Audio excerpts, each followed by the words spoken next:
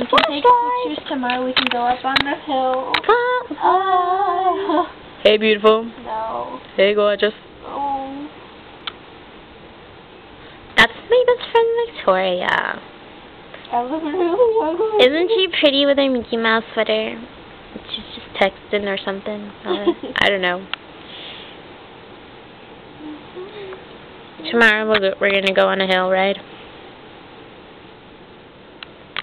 I can't see you. It's pure darkness, like no That's good. Ew, she's so ugly. I know. I'm gonna put this on YouTube. Love you.